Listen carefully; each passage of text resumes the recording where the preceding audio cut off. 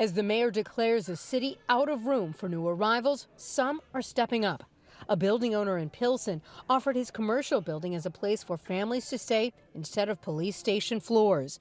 70 people, including families with young children, were brought to his building yesterday. Now the, now the social services are kicking in and it's helping out, but I mean, the lack of coordination from the, from the Fed to the state, from that state to our city is ridiculous.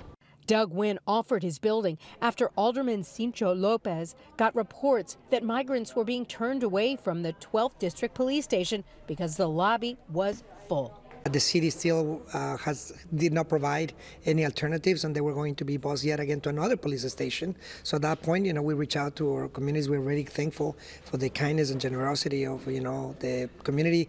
Yesterday, Mayor Lightfoot declared a state of emergency with shelters full across the city.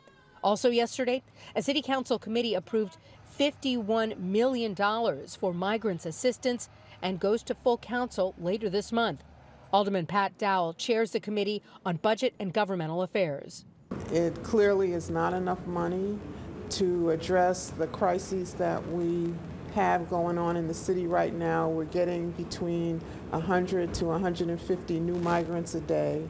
Dowell says she is troubled to see the situation and wants to see more help from the federal government and corporations. Dowell says as of yesterday, 450 people were staying in the lobbies of Chicago police stations. To sleep on a floor in a police station is uh, inhumane, and we have to treat people the way we want to be treated.